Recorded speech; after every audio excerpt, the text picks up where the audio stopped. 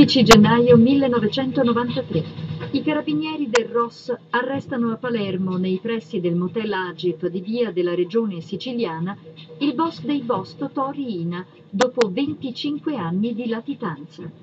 A dare il segnale agli uomini del comandante ultimo è Balduccio Di Maggio, nascosto in un furgone fuori dalla casa di Riina. Il pentito è infatti fra i pochi, dopo anni di latitanza, in grado di riconoscerlo.